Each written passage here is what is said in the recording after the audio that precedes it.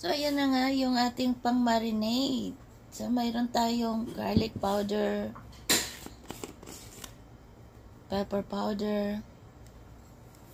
Simple lang po ito ng mga ingredients, mga dear. At soy sauce. Yan.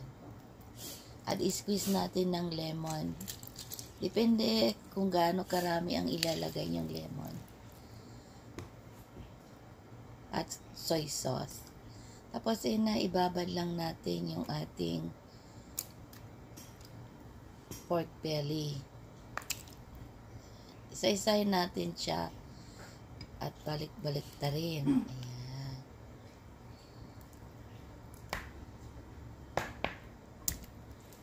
Uy. Ang maganda kasi dito, habang mababad nyo siya ma- matagal, mas lalong manuot yung lasa. Pero ito, binabad ko lang ng 4 hours. At hindi kayo magsisisi, simple lang pero masarap. So, sa huli nating ilagay yung ating parsley. Pero optional lang yan.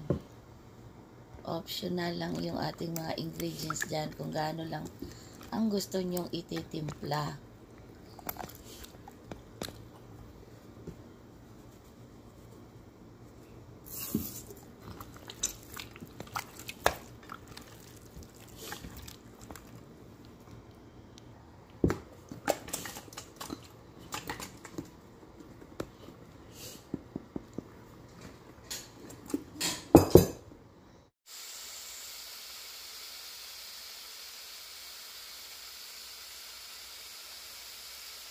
So, lalatayin lang natin yung ating pork belly.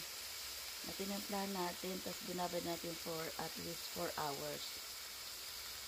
Wala na kasi kaming gas sa grill. So, ginawa natin ng paraan dito sa loob. So, ilagay ko sa malaking pan, slow fire lang tayo, at wala itong mantika.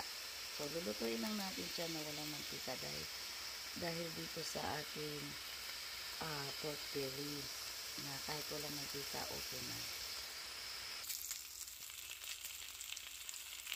So, nilagyan natin ng chopped fresh garlic, ano. Ayan, i-spread lang natin maigi at nilagay natin yung sauce na pinagtimpla natin sa ating pork belly.